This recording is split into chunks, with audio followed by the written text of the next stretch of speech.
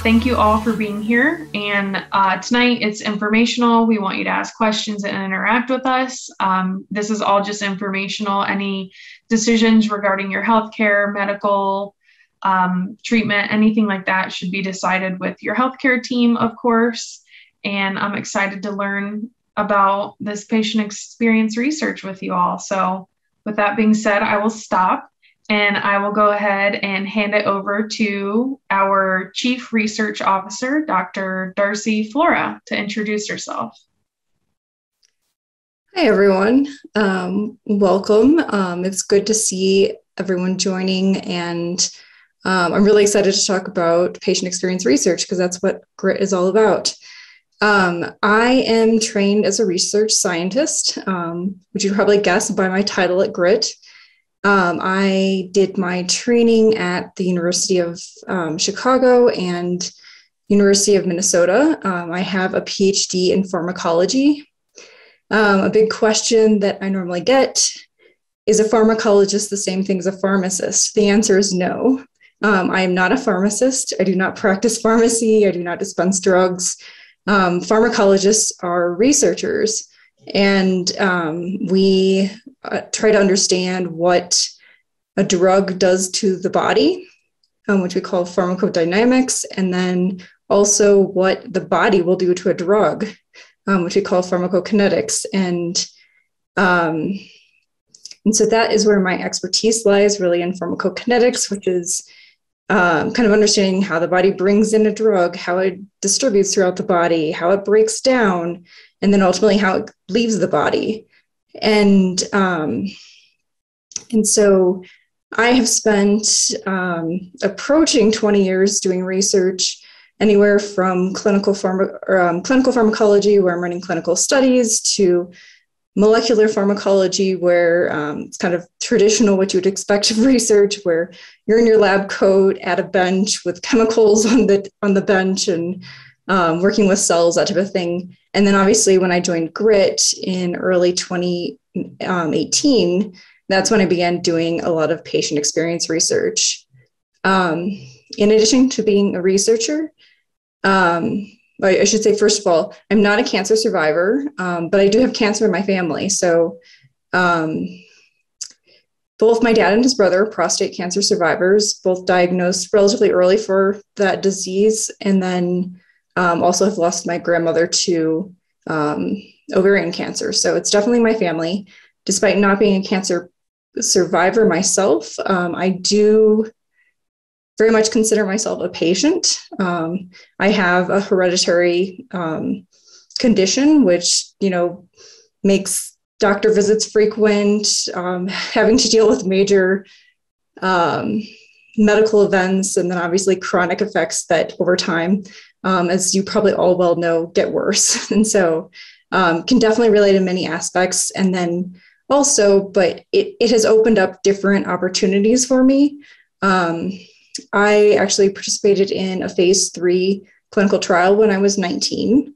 Um, and so that was really, even though the drug ultimately never got approved by the FDA, it was a very valuable experience and gave me the opportunity to really see um, science from a different aspect.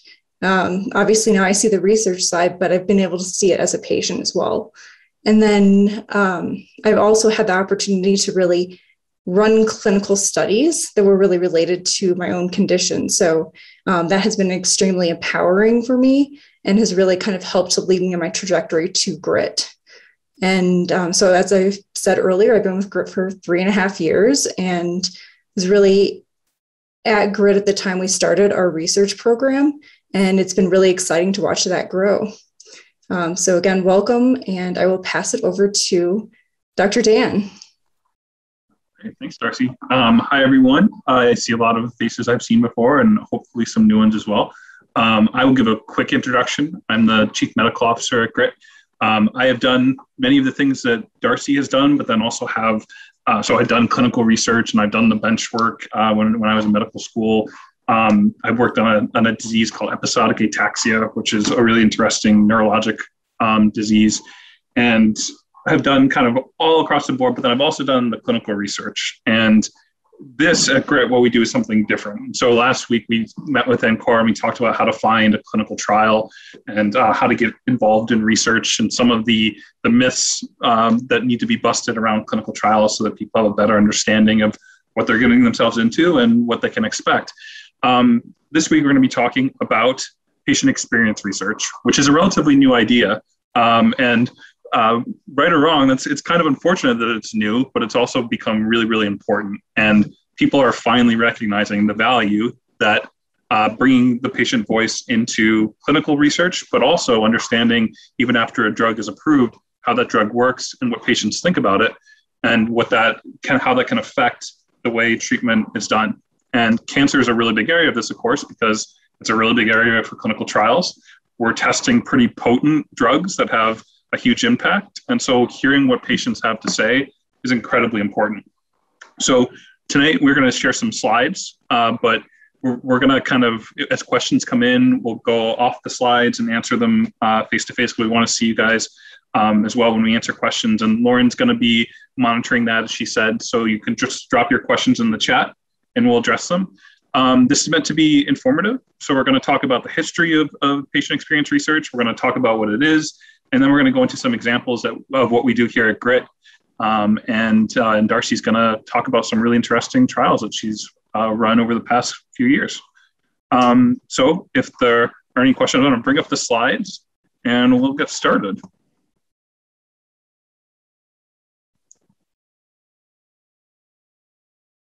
Okay, that's me. That's Darcy. So we're going to be talking about patient experience research and how your experience as a cancer patient empowers change. Okay, so what is patient experience research? Really important question. A lot of people don't really know. They think about this, and, and I'm going to put into context for you guys. So if you think about like a product like dish soap or laundry detergent, for the longest time, people knew, okay, if we're going to make a new dish soap, we better add, we better test it with with individuals, see what they think about it, see if they like it, see what they hate about it, because that's going to help us determine how to sell our product.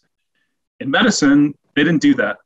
Medicine never asked the people actually using the products what they thought about the chemotherapies, the immunotherapies, never really thought about it. Instead, they just assumed that doctor, doctors who were the experts knew everything that the patient knew and more and knew how the patient would feel about being on a drug and what the side effects were. And clearly, this is not a good uh, assumption. And but it took a little too long for the healthcare system to kind of come around and figure out that hey, we better ask the people that are involved in in, uh, in taking a drug what it's actually like to be on a drug. So patient experience research is everyone's attempt to fix this issue. So I'll give a quick definition kind of like dictionary definition. It's some of it's my definition, some of it you can find online in various places. Everyone kind of has a different definition, but I think a really nice one is it's research that asks patients directly. Um, so face to face or um, going direct, finding the patient directly through a survey, through a one-on-one interview, through a focus group um, about their experience in the healthcare system and it doesn't rely on answers from physicians or answers from anyone else but the patient themselves. And so, what's really important about that is that you're going to be approaching patients with different levels of education about their disease, about the treatments that they're taking, about the next treatment they might take. And so, you have to come to patients with a really good understanding of what's going to be happening. You have to listen to them really, really carefully. And you have to kind of acknowledge the uh, what goes on uh, within a patient's life and what the day-to-day experience of living with a disease actually is.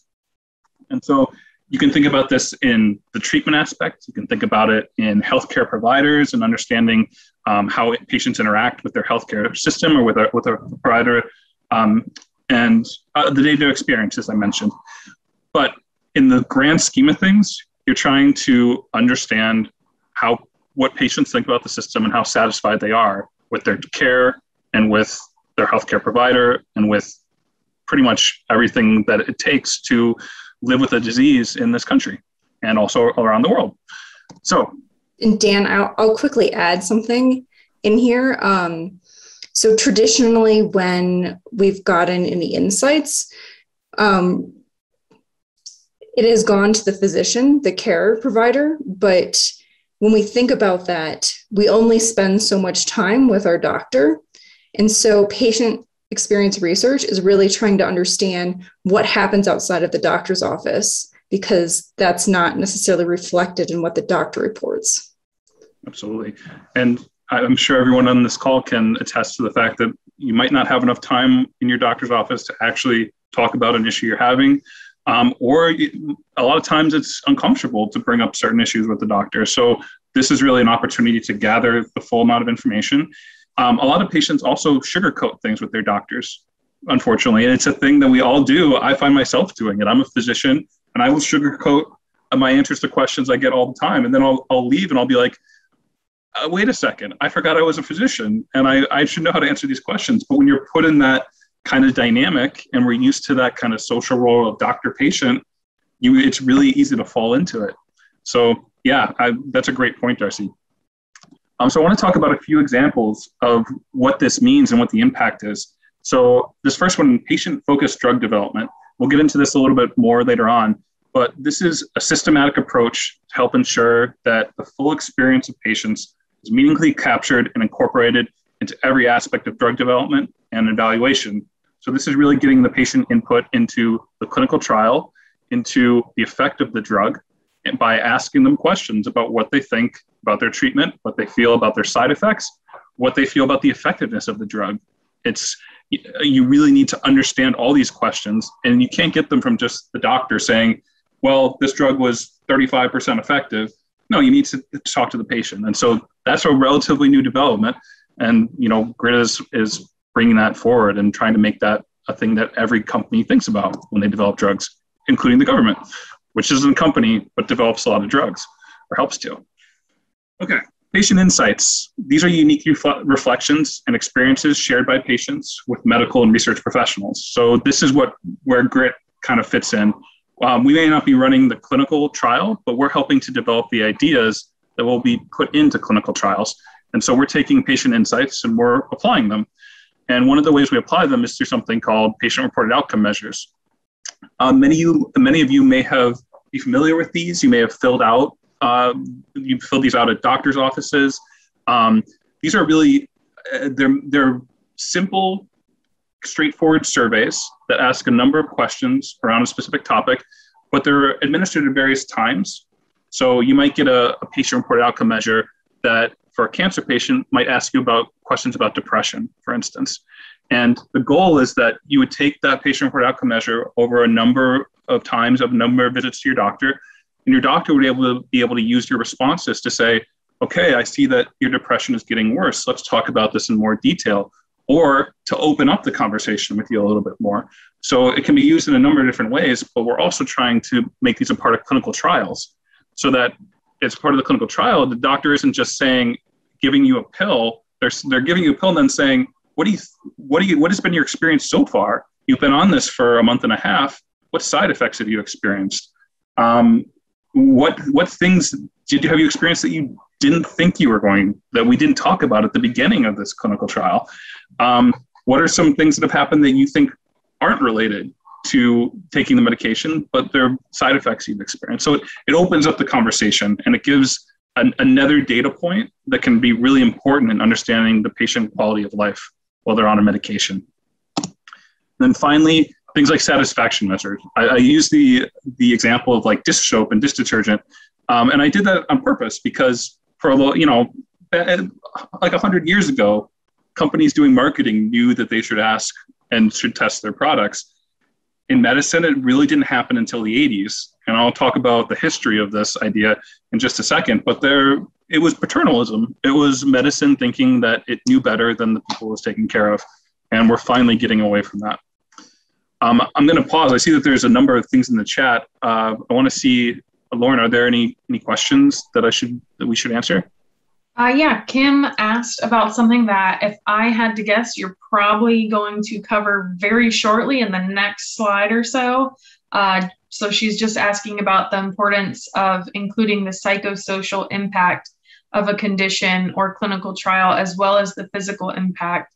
and kind of the importance of that and what it means uh, from the 21st Century Cures Act and the 2017 FDARA requirements. Yeah, it's it sounds like uh, you know you know your stuff. So we are we are going to get into that in just a sec, but this is really to your point. The way that the psychosocial dynamic medicine gets into medicine is one by educating physicians in medical school, but you know that's people forget. It's it starts early, but you know it's really easy to fall into the, the healthcare system of medicine so we need to have things like patient reported outcomes and patient experience research to make sure that we're listening to the people who are affected by the system and we're bringing those dynamics in, those psychosocial dynamics. So that is exactly what patient experience research is all about. Um, I'm going to jump and talk a little bit about the history, uh, unless there are, are there any other questions? Nope, you are good to go. And the next thing Dan's going to talk about, um, he's very passionate about. So I'm passionate about everything, Lauren. I can't help myself. Okay. So, the history of patient experience research. We would all liked this number to be 1900, I'm sure. It would be great if 100 years ago, doctors were thinking about how patients felt while they were on their medications. They were clearly, they want patients to get better, but they weren't asking them directly. They weren't saying, they were saying just saying, "You do you feel better?" Yes, no. It's more than a yes no answer, and we clearly all acknowledge that. But it took a while to figure this out. And so one of the first times where the FDA and government and industry was really forced think about this was during the AIDS epidemic. Um, many of you can are I'm sure familiar with kind of what was happening at that time, but the the dynamic was that can, uh, clinical trials happened slowly, and uh, people with AIDS who were dying needed trials happen more quickly. So they went to the FDA. Um, so well, actually, first they they picketed and and um, you know brought up reasons why this really needs to change. And then they went to the FDA, and the FDA finally opened up and had meetings with AIDS activists about the experimental treatment process, about getting more people into clinical trials, getting more people on drugs that might work. Um, however, because there was not much knowledge at this point about patient experience research, there were some issues with this as well. So it was great that they got treatments out to, to AIDS patients faster, but I'm sure uh, many people on the on the call here tonight might be familiar with the movie Dallas Buyers Club, um, and that's an interesting case of a, of a circumstance where, in rushing to get a drug to patients, um, a drug called AZT in that instance, that was pretty brutal and and really had terrible side effects people they were they were dosing it at too high a dose and they weren't really asking the patient questions about it. So this was an attempt to move more quickly, but without really building the structure in order to make these patient ex- this patient experience question function better. So you got drugs faster, but they, at this point they were kind of nasty drugs, and a lot of patients had terrible side effects or died from treatment. And so we have gotten better since then, but this is kind of where it started. It started with patients standing up and advocating for themselves in 1993, uh, a, a really important um, group, and I'm going to make sure that I, I want to read this exactly, called the Picker Institute. So this is kind of a think tank, a healthcare think tank. They came up with eight domains of patient experience and patient care that they thought needed to be focused on. Those domains were respective patient preferences and values. Sounds obvious. Wasn't always.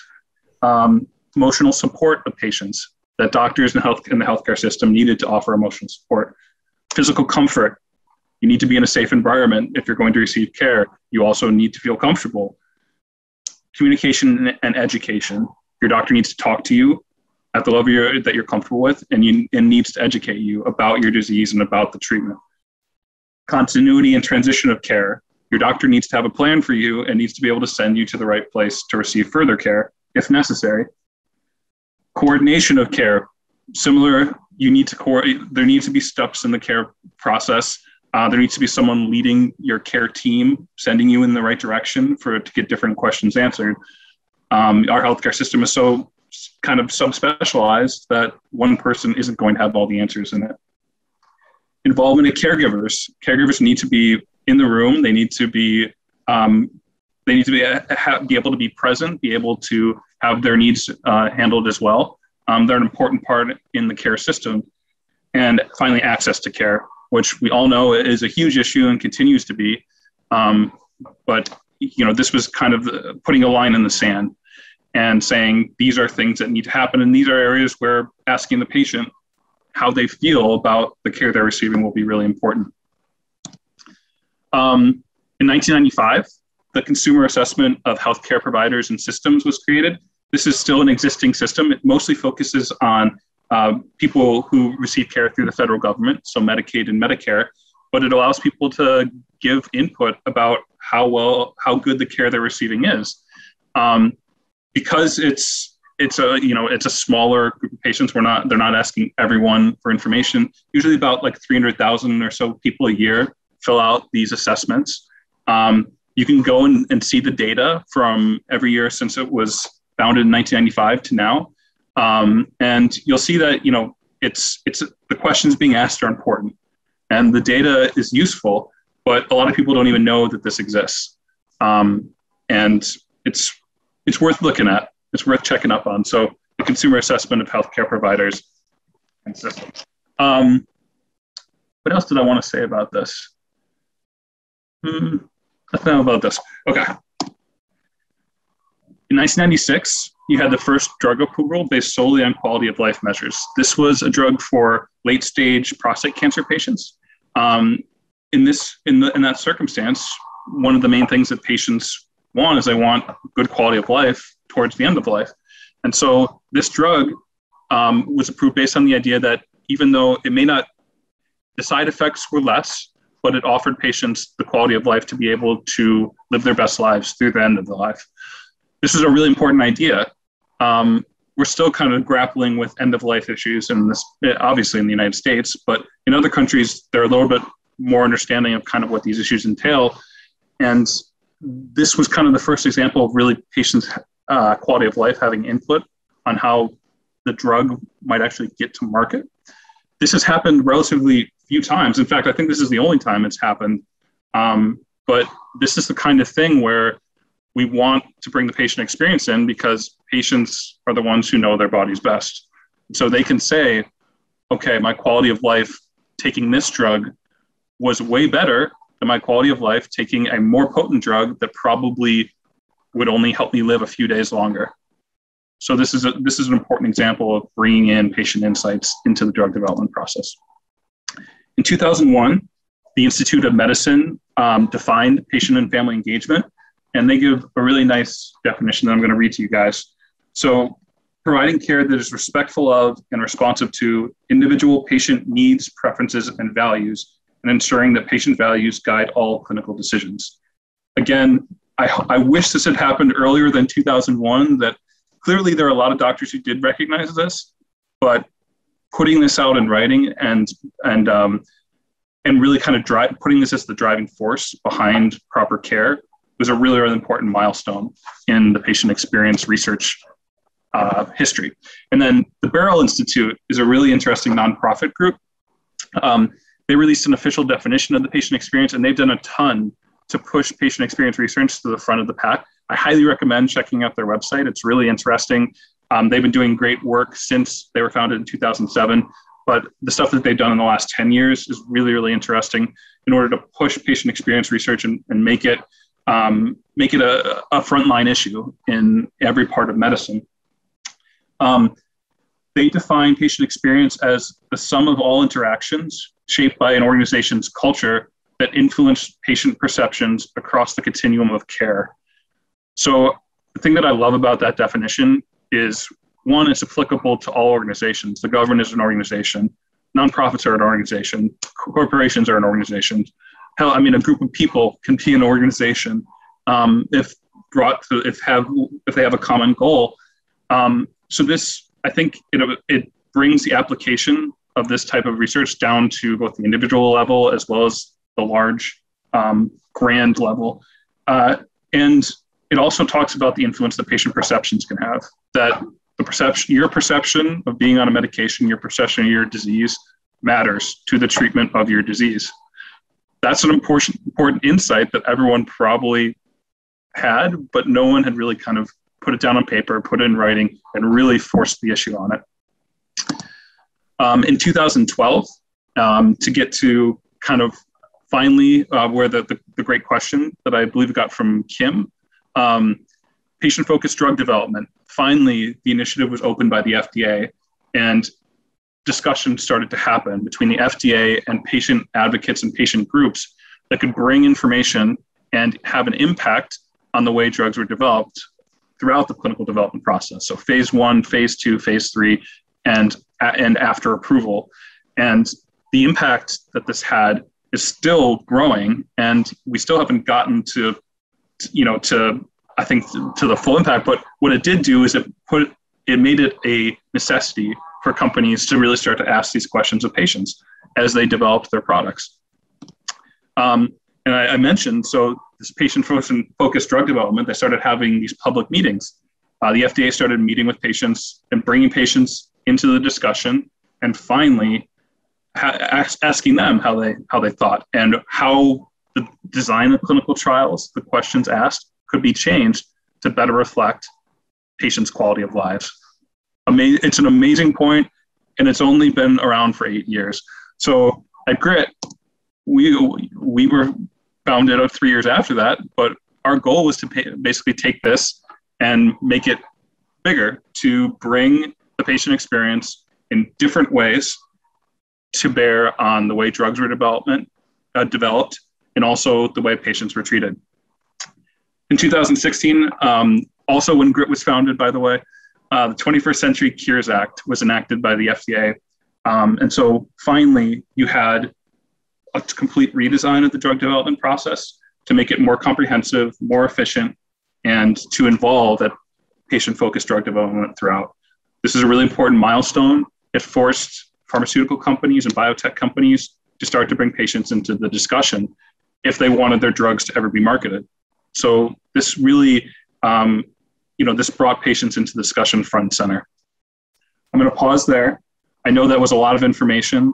Um, I would love to answer some questions before I pass it over to Darcy um, for other parts of the discussion. I think I have one more slide actually.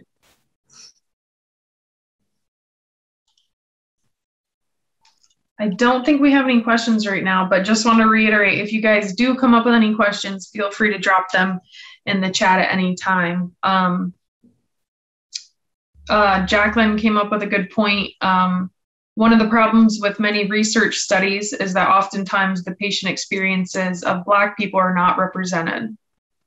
That is a great point, Jacqueline. And, and you know, so one of the things we're trying to do at GRYT is really be as inclusive as we can with patient experience research and it, it is a challenge. It is always a challenge because it really means building the conversation. And it's something that what we're doing at, at GRYT is building health equity conversations, using that as a springboard to build trust in what we do and to build and to build education around patient experience research. And so things like this, what we're doing right now, our, our hope is that we can bridge and actually start to ask these questions more specifically of different ethnic groups within the United States, groups uh, with different sexual orientation, different different experiences, and really bring those to bear because they're you're absolutely right. They're not fit into clinical development the way it currently stands, and the FDA and the government are trying to kind of pull it along, but we all know that they move more slowly than we would like. Um, companies also, you know, sometimes move pretty slowly with it, so you got to kind of force them to be good sometimes, and so you know that's what we're trying to do right now. A great point, Jacqueline. Yeah, and I'll just add to that, you know, obviously trust is a big issue. And, you know, I know at GRYT, like our, it, transparency is so important when we do our research. And so, you know, we always are making sure, I mean, we will turn down projects if they're not with someone that really cares and is putting the patient first. And, um, but we want to be transparent with people about who we're working with, kind of what the goals are, and then obviously, we try our best to do as much follow up so that it's not a transaction and that we're really kind of building that relationship. Absolutely. It's so important. And I think it's getting better. Okay. You guys only have to listen to me for a little while longer here. Okay. So what difference can we actually make? What difference does answering a survey um, what does it actually look like, and you know what what do we need to actually gather? It's actually it's most of the time this is a pretty simple way to gather information. We do things like use surveys and questionnaires, quick to make, quick to take.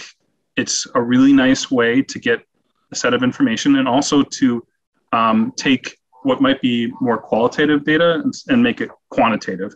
So a lot of people like to work with numbers. Uh, they listen to numbers. This is a way that we can take patient experience and turn it into hopefully something that can, you know, pretty quickly make an impact.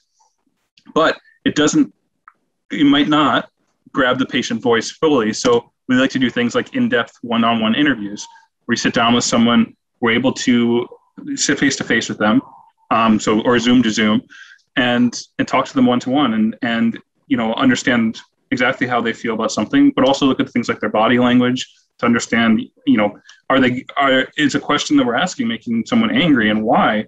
Um, it brings out different frustrations. It brings out a lot of different things that, that you might not capture in a survey. So this is something that we really love to focus on. Um, and it's really, really important to understand those qualitative viewpoints to get those quote, those patient verbatims that really explain the situation in a way you're just not going to capture from a survey or questionnaire.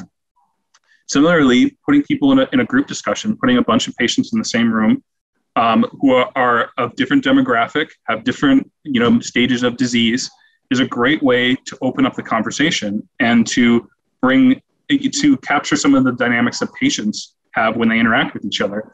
Um, patients may disagree. Uh, they may, you know, they may think that one patient may think that they were the way they were treated uh, was better than another, and, and, they may be on different meds. And understanding those dynamics and kind of seeing how they play out is a really, really important and very and very useful thing uh, when it comes to the patient experience as a whole. And then, of course, comp- more complex studies, which really incorporate many different aspects and look at them over time. And so this is something we really specialize in at GRYT. And Darcy's going to talk a lot more about our, our studies, which uh, incorporate what's called IRB or Institutional Review Board based research. And what that really brings is a much more scientific aspect. Um, and the idea being that you want these things to be publishable, you want them to have an impact down the line, you want people to go and find the paper or see the presentation at uh, at a you know a poster presentation at a major conference and say, oh, I recognize this is a piece of scholarly work they're bringing the patient experience to the point where it can have a real impact on clinical trials, on patient education, on all these really important things. Um, Lauren, I see you came off mute. Are you going to tell me to shut up because I've been talking for too long, or? Only because there's a question that um, okay. I already know the answer to, but I know you'll feel strongly and present it very passionately. Uh, Kim, who asked the question earlier, um, she brought up that uh, clinical trial sponsors can say that no uh, PED was collected and considered during the trial. Uh, does Gryt Health think that PED should be required to be collected and considered in clinical trials? Oh, absolutely. It's incredibly important. And I think so. There are a couple ways that you can get patient experience research into a clinical trial. I think the simplest one that has been moving forward is patient reported outcome measures. And you would think that because we've kind of we've evaluated a bunch of, of of measures and different disease types, you would think that it would be part of every clinical trial, but it's not. In fact, I think it's only like less than 10% of clinical trials involve a patient reported outcome measure. So less, that means that they're not looking at a quality of life metric. They're not, they're only looking at the effectiveness of the drug on treating the disease, which clearly is still important, but you also want to know what's the effect on the patient as a person. And so one of the things we're trying to do is boost the number of trials to use patient reported outcome measures and also develop new patient reported outcome measures, especially for new types of treatment like immunotherapies and some of the, the latest cell therapies that we really don't know too much about. You got to ask these questions during development because if you don't, you're going to you're going to have, have a lot of patients treated with something where you don't understand exactly what effect the drug has on them. So, absolutely, one of the things we're trying to do at, at GRYT is make sure that this is a part of every clinical trial, but not just that, part of understanding the impact of the drug for a long term. And so, um, uh, you know, I mentioned other ways to get into clinical trials, things like crowdsourcing the design of clinical trials, asking patients what they think about you know how many times they have to go in for treatment, how many times they have to go in to, to get a scan, um, making it easier. So more of a patient-focused drug design. Um, so can a patient stay home and you know do they need to come in for to get a scan? Do they need to come in for blood work? Can they how can we make it easier to run a clinical trial and make it more patient centric so these are all questions that we're, we're hoping to answer. Um, thank you for that comment kim because it's it's really really important. Uh, I have just one more quick question from Lori before we move on, asking if some of this ever applies to post treatment and having a survivorship plan for a patient, if there's patient experience that goes into creating things like that? Yeah, um, that's a great, great question. So, when you think patient experience research, a lot of the time you're looking at like a clinical trial question. So, thinking about the impact of a drug on day to day life. Um, there's this other aspect, and you're absolutely right to point out, which is downstream. What's the impact going to be? And the only way we can understand that is to ask patients over time um, to get patients who are at different points in their treatment journey and understand what the impacts and what, what's relevant to them at that point. And clearly, some someone who uh, is a survivor and has um, had, had their cancer treated 20 years ago, but is now is living with cancer kind of the idea of a recurrence potentially hanging over their head, the idea of um, you know what effect their treatment has had, uh, and through side effects and through other impacts, they're going to have a different experience than someone who was just diagnosed. And so you really have to understand each of those individual individuals well. And the only way to do that is to ask them directly, um, is to say, you know, patients who, who receive this chemotherapy do really with this specific disease do really well, but how do they feel 20 years from now? Um, uh, do they have chemo brain? Do they hate? Are they able to, you know, go up and downstairs like they used to? Are they able to go out for a run, or has the chemo had an effect on their ability to do that. And the only way we know those um, is to ask the patient directly. So it's a really important point that patient experience research has an impact on survivorship. It can help us understand, for instance, this drug, boy, if you're young, I don't really want to put you on it as a doctor because I know 20 years from now, you may not be able to, to run anymore and you love to do that. Um, those considerations we only arrive at by talking to patients and following them over time. Yeah, and I should point out as well that I know a lot of what we've mentioned have been kind of helping with the drug development process, but some of patient res- um, experience research is also focused on how do we develop resources to help support patients better. And so that's where, you know, a lot of the survivorship stuff comes in too as well.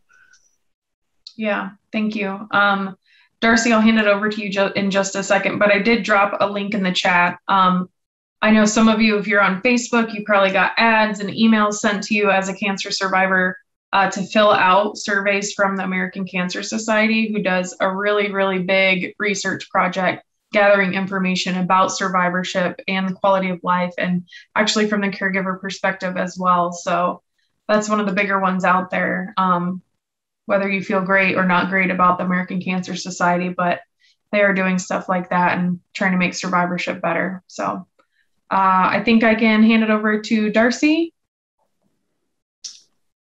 I will bring the slides back up.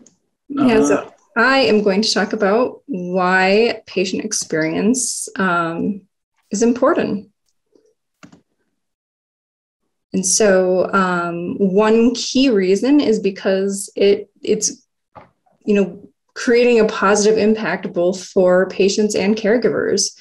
And so, according to the CDC, um, 90% of um, adults are impacted by health literacy. So, health literacy is um, a person's capacity to obtain, process, and understand health information so that they can make an appropriate decision with their health. And so, um, I think, you know, most, if not everyone on this call at some point has, you know, been affected by this. And um, what patient experience really hopes to do is to try to identify these different kind of sticky points and tackle them and address them. And so um, ultimately, patient experience research, it's making care friendly at every level. And again, like as we mentioned, this starts at development when we're first thinking about um, uh, launching a drug and going into trials. And so um, it's important at every stage of this process, all the way till it finally makes it and is being used in the clinic. And then um, obviously, it also really helps us to um, understand individual needs. Um, and this is where, you know, those in depth interviews that Dan mentioned, these are critical for understanding this. And um, as you do more, um, you're also able to take away some key points and, and see different trends that are happening, um, which can then apply to these larger patient populations. And this is where again like the diversity is really key to get in there as well. Um, and this goes um, you know ultimately we're creating products and services that are going to be more effective for patients. And um, again you know as i mentioned not only are we actually potentially creating drugs but we're also creating resources um, and that can't be understated and then again like through these different interviews this is where um, we're really understanding disparities and you know where there may be barriers and challenges for patients so that we can better learn how to address them.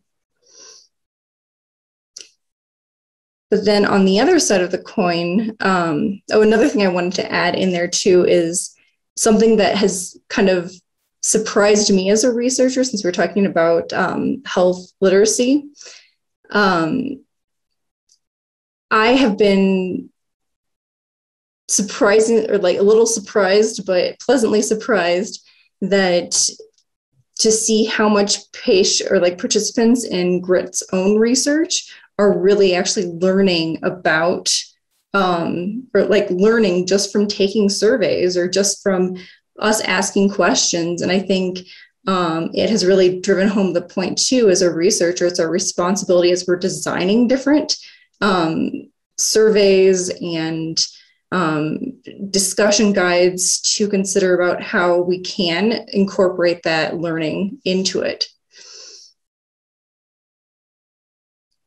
So, the other side of this is that it also creates a really positive impact for industry and um, regulators. And so um, it's expensive to develop drugs. And so um, a paper that came out last year said that when they analyzed data from 2018 to 2019, the average cost to develop a brand new drug was $1.3 billion. So um, a lot of resources go into one drug. And so getting it right is important. And patient experience is what's critical for that. And so, um, as it says here, is it prevents failures and wasted resources because you don't want something to go all the way to clinical trials and then fail. So again, it really helps to inform um, that early development of products and services.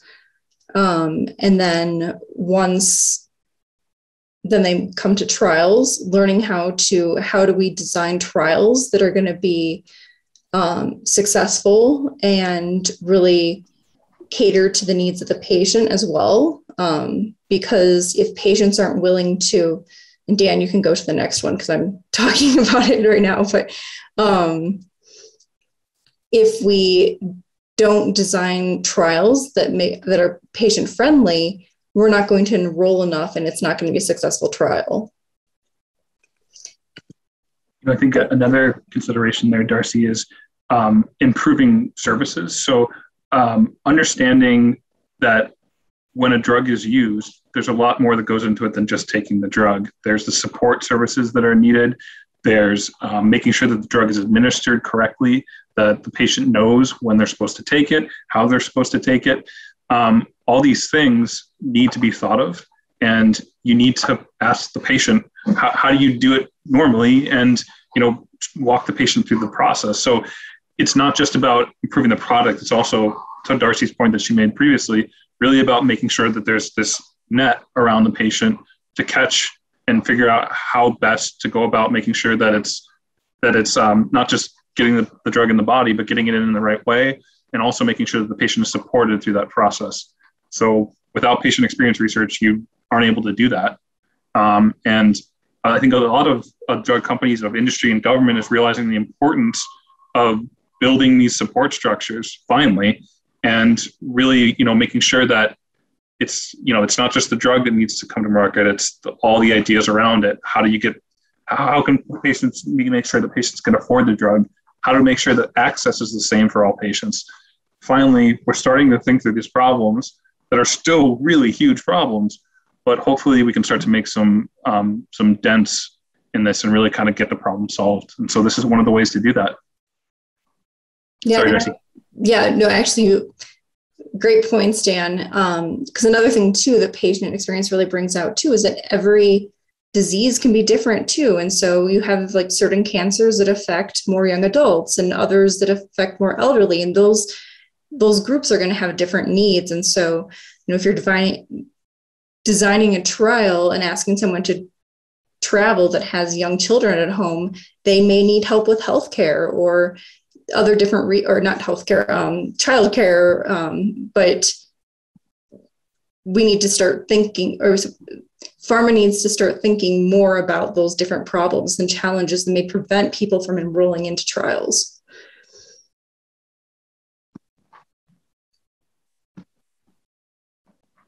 And so ultimately, then this research is going to lead to more successful treatments um, and even help out with the diagnosis process as well. And especially in cancer, getting the diagnosis earlier is one of the key ways that we can affect cures and better results. And so this is this is a way to do that, making sure that patients increasing patient education by asking them these questions by involving them in the process. It's it's the same reason that um, a lot of studies have shown that care actually improves when you start asking the patients to become more involved because they feel more cared for. And that just just that aspect of things is a huge part of medicine. And the results are actually better. Outcomes are better. And i think this this is a huge and though it you know it feels it feels like an unscientific thing to say but to put it into numbers and see the impact of things of the impact of things like patient reported outcome measures the direct benefit that they have just by asking the questions i think these are the kind of things that medicine is still kind of grappling with how to involve. And so this is a great way to do that. And then the, the final point here is just understanding or um, you know ultimately these insights are going to help us get new um, help for further development because you understand some of the challenges that um, maybe are faced um, from other things that may be um, approved. And then also how do you better improve those services of products that are out? Um, also I, and this is because the pictures are um, hiding this on my screen. I forgot to mention the little stat on the bottom right um, about um, about patient needs, and um, it, and it says only 47% of patient needs are met. So this is from a patient experience study, and in this study, patients were asked if pharma companies were understanding the emotional, financial, and um, other needs related to their condition. And as you can see the numbers low which just shows you know right now traditionally pharma has not been listening to the patient experience. And um, we're obviously hoping to change that direction um, so that they're better addressing those needs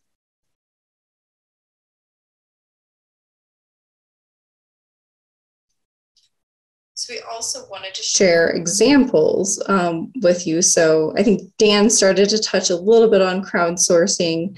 Um, we can kind of think of this as problem solving. And so basically, instead of problem solving in kind of a more private environment, we're bringing the problem solving into an open collaboration where you're having both the public and um, doctors and researchers collaborating together to find solutions. And so, um, an example here um, is in ALS, um, which is also Lou Gehrig's disease, and um, patients actually. Um, so there was a study that came out of Italy in um, 2008 that indicated that lithium carbonate may help to slow disease progression, and so uh, a few patients on um, PatientsLikeMe, that platform, um, they they designed spreadsheets and basically started kind of a, a little clinical study. Um, and they recruited almost 150 other patients to take lithium carbonate. Um, and some of them were on it for up to like a year. And ultimately, they reported their results and um, found that the lithium carbonate did not actually slow the disease progression. Um, another thing that um, we've seen is doctors using crowdsourcing um, in order to find different diagnoses. And so um, I don't know if anyone has watched it. I'll admit I have not. Um, but on Netflix, there is a show called Diagnosis. And um, so they have some, actually, maybe Lauren, you want to speak to it even if you've seen it. Um, but basically, um, cases that they haven't been able to solve. Um, you know, there, there's one doctor in particular that has posted, or um, after consent from the patients themselves, has um, uh, put an article in the New York Times and then got in different feedback. And so that's part of, um, I think, some of the episodes from Diagnosis cover that particular instance.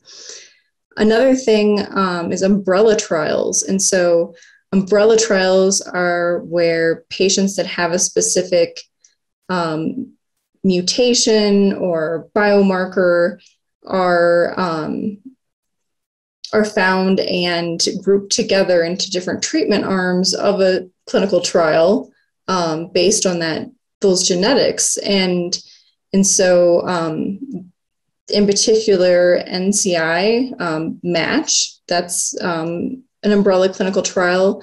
I don't know if we have any multiple myeloma people in here but in March, we had the Multiple Myeloma Research Foundation do a program with us, and they talked about an umbrella trial that they're running, and that is called the Multiple Myeloma uh, Research Foundation My Drug. Um, so that's for myeloma patients, but again, based on genetics, they um, they put you into different treatment arms um, that target that particular um, uh, uh, genetics that you may have. So, and so then, um, are there any questions? We can take a little break.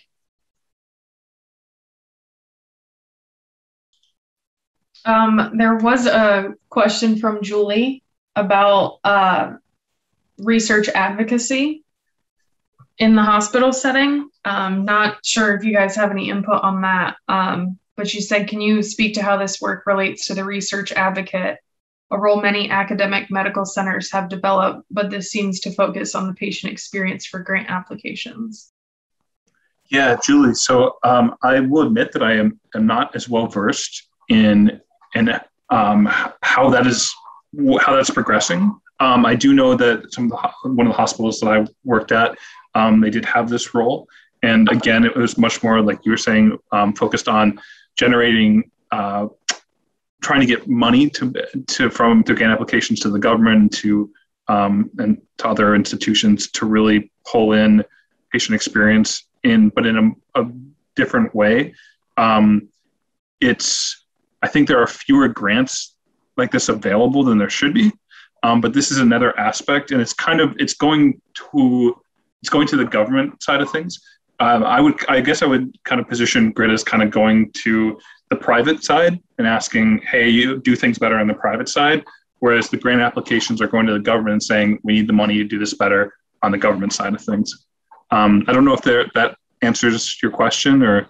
Um,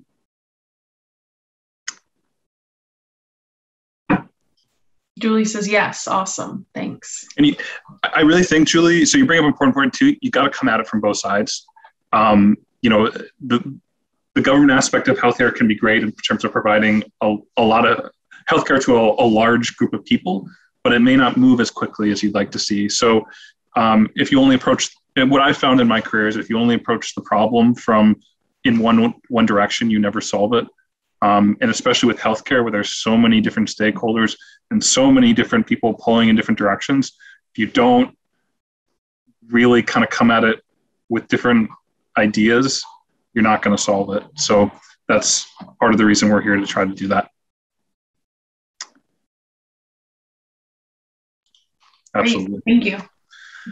Um, Darcy, I will send it back over to you. Talk Okay. about how to get involved. Great. So I'm probably going to just dive into this at a high level just because I know we're we're close to time. But um, so our expertise at Gryt when it comes to research is patient experience research, and so um, you know research takes some time, and so it's um, really some of our earlier studies that we've done in Gryt's history where we're now kind of seeing how they helped out, and so in uh, 2018, we did a project with Hodgkin lymphoma patients.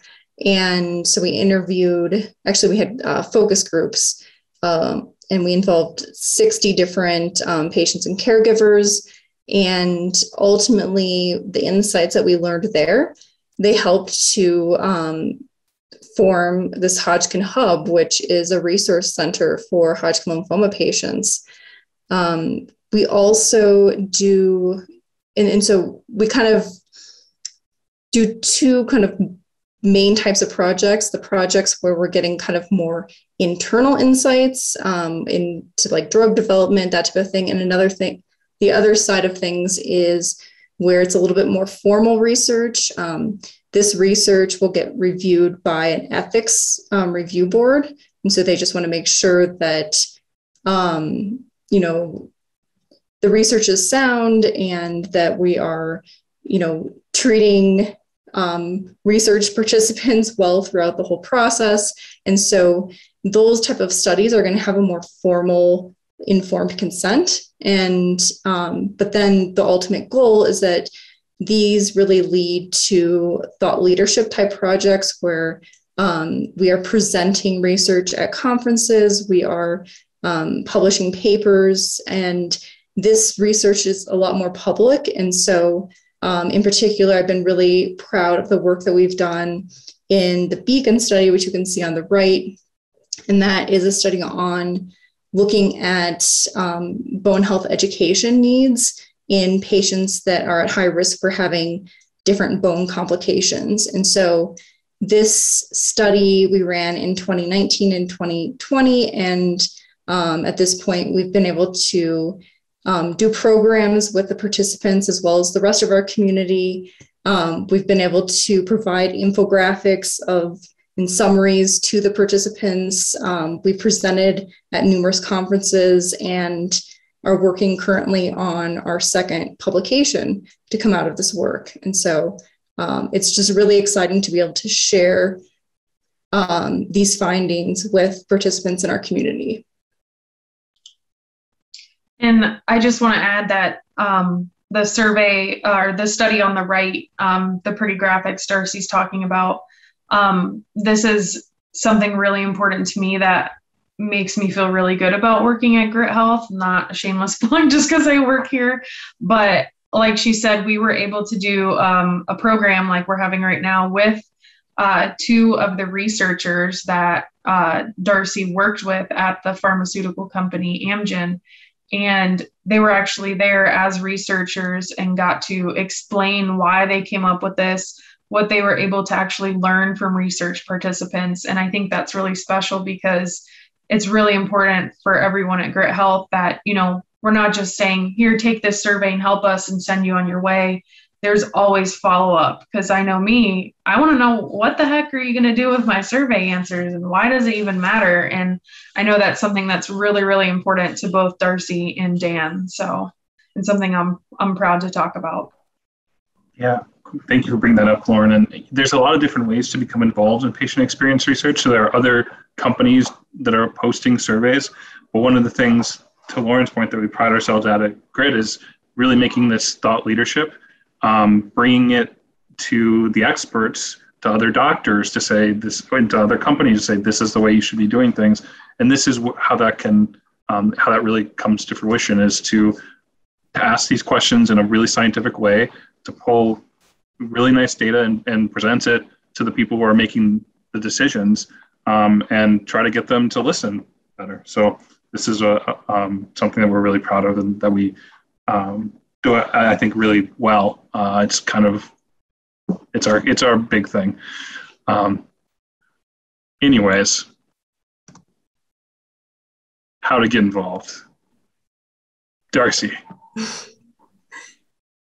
So the number one thing we have here is to learn to be your own advocate.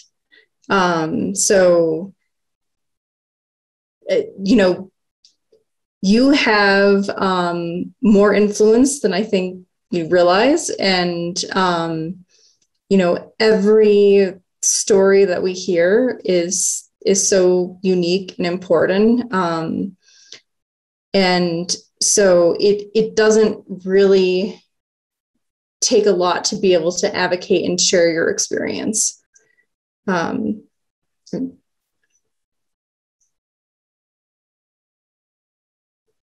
and then obviously um, participate when opportunities are present. Um, so I think one thing I struggle with the most is that right now Gryt's not in a place where we can offer opportunities to everyone, but we're we're trying to grow and offer as many opportunities to participate in research because we want to bring down the barriers of research, um, which to that point also never hesitate to reach out to the research team because um, we're happy to answer questions. Um, we always want to make sure it's, as I said, it's not a transaction. We want to support you. So if, you know, we're having a research conversation with you and we learn about different needs that you might have, that's one thing we really pride ourselves in too, is that um, we will follow up with different resources to help you out and can make those connections for you. And then also, um, you know, obviously GRYT does patient experience research, but there are other organizations, as Dan mentioned, that are also doing it. So um, you can definitely inquire within um, different medical institutions and um, research centers as well. And they're likely also doing a lot of patient experience research. Becoming more and more available. And then, and, oh. oh, Darcy, I'm just gonna. So this is kind of exactly the, the question that you asked um, that was asked earlier around grants. This this is happening in medical institutions now. It's not all just about how how well does this drug work and running a clinical trial. It's also about asking about your experience, both at the institution with your physician that you're seeing there, as well as your treatment over time. So look for opportunities that pop up um, everywhere because they're going to be there. A lot of people want to know what it's like to be a patient because then you can then things get better.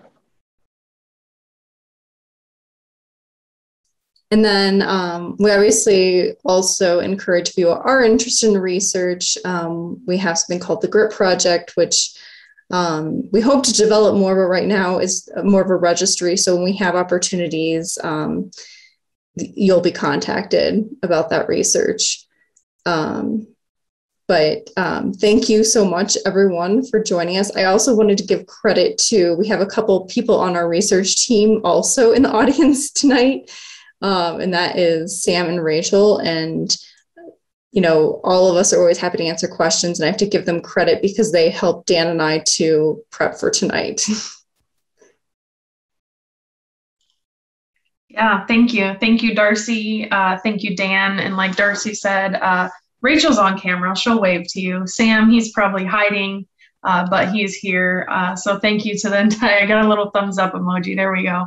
Uh, thank you to the entire Gryt Health research team. Um, and, uh, you know, like Darcy and Dan were saying, you know, I, there are times you guys in the cancer community know that I'm kind of a wealth of information. I hold all the resources dearly in all different places on my computer and uh, almost probably every single research study, uh, Darcy will contact me and say, Hey, you know, do you have any information on this? Do you have resource on this? So uh, our team just really cares. Um, so even if it's in a research study and you're needing help, you're going to get the help. We're going to get you the resources and support you the way you need to be supported. So um, thank you all for attending. Um, like I said, an email will be sent out to everyone that registered with this recording, along with um, you know various links. Like Rachel dropped the link for the Gryt Health Project for the Gryt Project, um, and then I'll include some other information in that email. And most importantly, a link to the third and final part of this cancer research series. Uh, which is going to be happening on September 29th, which, no offense, Dan and Darcy, but it's the one I'm most excited about because uh, we're actually going to be hearing from cancer survivors who have participated in different types of cancer research because um, you guys know it best. We've been in it. So we'll get to hear from them and what their experience actually was like in different types of research. So thank you again. Um, to the research team, Darcy, Dan, Rachel, Sam, and thank you most importantly to everyone who attended and who participated in the chat and asked some questions. Um, and thank you again. And I hope to see you at the next program on September 29th. Thanks, everyone.